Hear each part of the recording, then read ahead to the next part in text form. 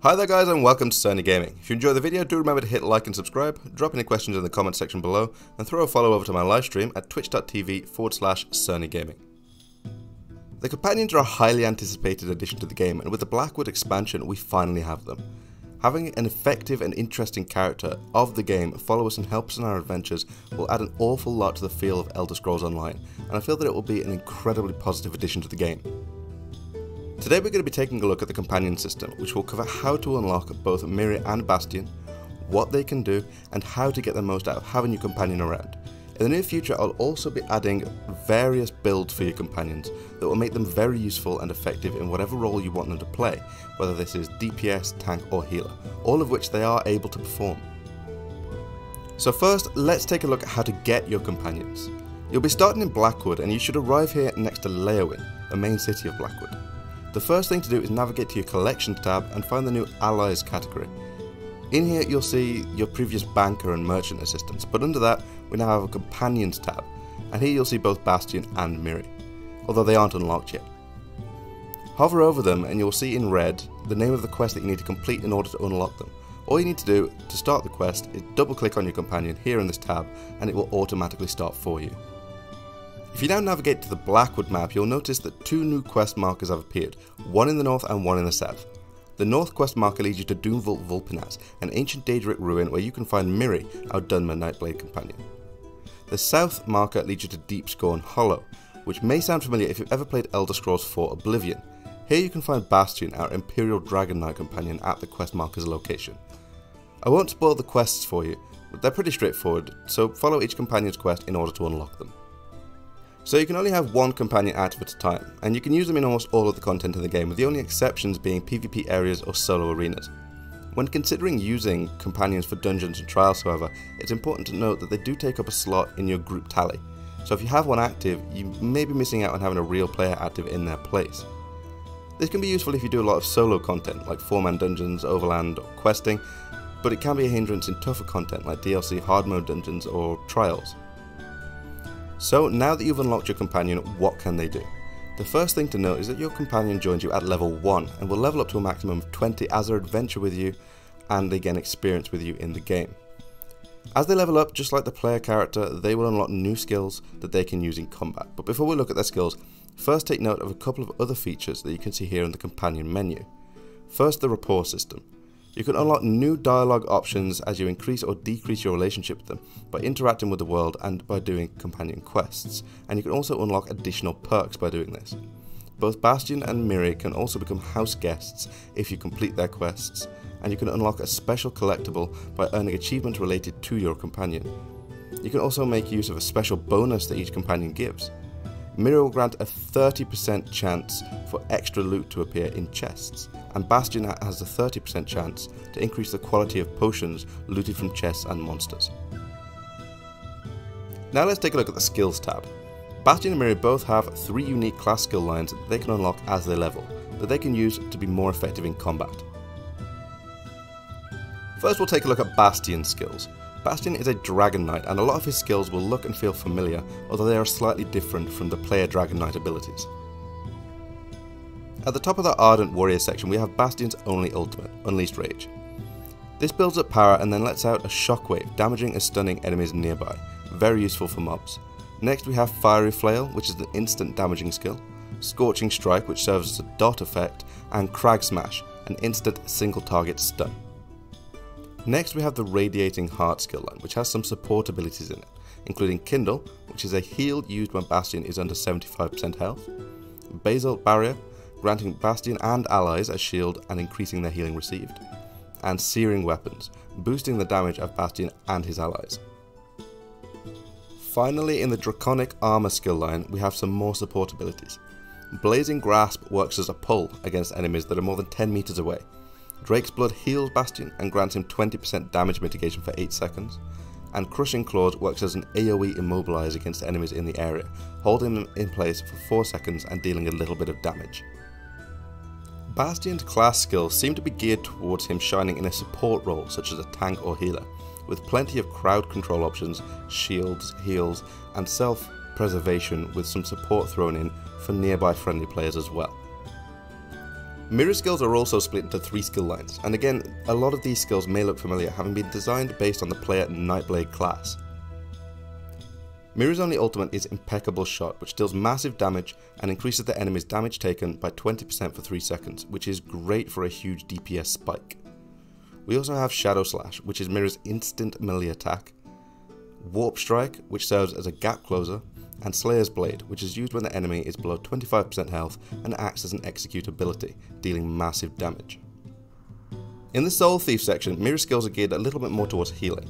Life Absorption will deal some damage and heal Mirri or an ally for a nice burst of health, and Blood Transfusion will grant a pretty potent heal over time effect to an ally. Life Siphon works the same way as Life Absorption, but in an area around Mirri instead of against a single target. Finally, we have the Living Shade section, which is geared a little bit more towards survivability for Mirri. Ghostly Evasion, which is used when Mirri is below 75% health, will grant 20% damage mitigation for 8 seconds. Mask of Torment is an AoE crowd control tool a little bit like Hysteria, which fears enemies for 4 seconds, and Twilight Mantle will heal Mirri and turn her invisible for 3 seconds when she's below 50% health. Each companion can also unlock weapon, armor, and guild skills by using the relevant weapon or armor weight in combat or by completing guild quests. There are six weapons available two handed, dual wield, bow, destruction staff, restoration staff, and one handed and shield. Each of these skill lines has three unlockable skills in them, which you can use alongside class skills to increase overall effectiveness in the role that you choose for your companion. You can also unlock one active skill and one passive skill in light, medium and heavy armor, which will level as the companion gains experience with those armor weights slotted. A really cool addition to this is that companions can also gain experience in their mage, undaunted and fighters guilds by having them active as you complete quests from those guilds respectively. There are three unlockable skills for each guild and they can be really effective in combat.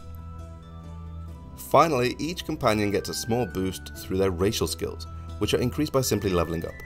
Mirri will gain a 3% increase in damage done and healing done, while Bastion will gain a 3% increase to damage done and max health. This implies that both companions are designed to be able to do a little bit of damage, but Mirri gains a boost in the healing role, and Bastion gains a boost in the tanking role. It's very important to understand that companion skill use differs from player skill use, and looks a little bit more like the skills that any other NPC in the game may use.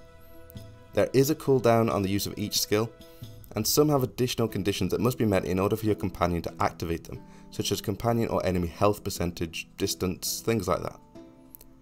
If there are none of these factors present, your companion will simply attempt to use their skills in the order that you place them on their bars from left to right. So if you want to increase your companion's effectiveness in combat, try being smart with the order that you place the skills in.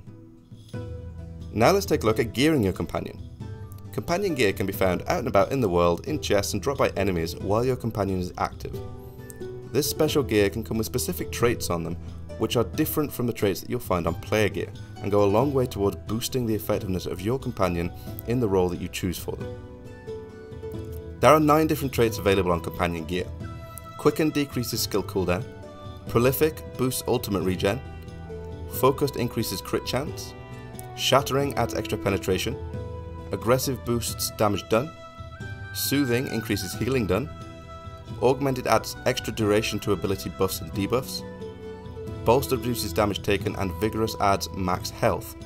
You can specialise and make all of your companion's gear one trait if you wish, or you can mix and match depending on what kind of build you're going for. Companion gear isn't all too difficult to find and comes in variable quality levels as well, similar to the gear that you can find for yourself. It does not however have a specific level, so you don't need to get high level gear as your companion's level increases like new players do.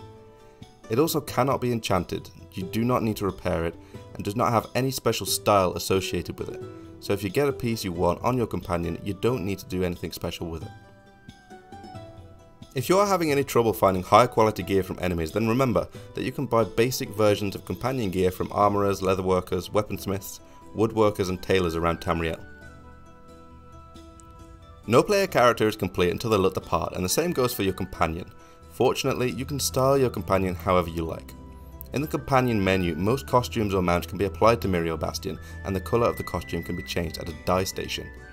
If a costume isn't what you want though, you can use style pages you've already found and apply them to your companion in the dye station as well. Unfortunately though, you can't add a headpiece to your companion. So now we're going to be taking a look at an example build for Mirri, taking on the role of a healer. This can be really useful for solo content if you want to focus more heavily on damage yourself. The healing that Mirri provides is decent and can sustain you pretty well, but don't expect it to match up to having a good player healer or wearing the Ring of the Pale Order with high DPS. Making companions too overpowered would break the game, and right now it feels like the developers have put companions in a good starting place in terms of effectiveness.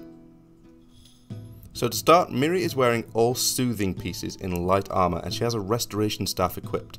This will boost her overall healing power significantly. Mirri is using two strong heal over time effects, Blood Transfusion from the Soul Thief skill line and Reverse Entropy from the Mage's Guild skill line. Next we have Mending Incantation from the Restoration Staff skill line, which heals the player and grants them a 7000 physical and spell resistance buff for 8 seconds, which is really nice for boosting our survivability.